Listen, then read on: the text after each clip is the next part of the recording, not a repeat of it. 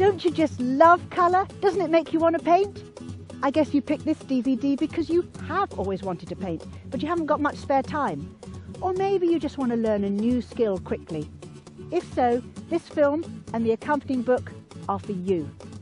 Even before you finish watching, you're going to want to take up painting.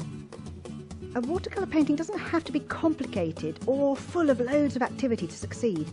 Watercolour welcomes simplicity. The passages of blending and overlapping colours are attractive enough in themselves. You don't have to be a slave to everything you see. You've got to select. Don't try and copy your subject verbatim. It is the inspiration for your watercolour and you're under no obligation to mimic it.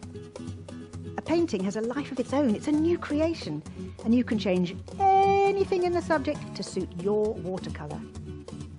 I have a favourite quote from Oscar Wilde. Art begins where imitation ends. I want you to reverse your thinking. Start thinking of the subject as a good excuse to paint an attractive patch of watercolour, rather than the watercolour to paint an attractive subject. Did you get that? Shall I say that again? Use the subject to paint a watercolour, rather than the watercolour to paint a subject. Let the lovely pigments and papers do their stuff. Don't worry and don't try too hard. Have fun, relax, enjoy. Painting is about seeing, mixing, laying brushstrokes, blending colours. The rest will come. You are now ready to make your first watercolour painting. But watch out for the adrenaline rush.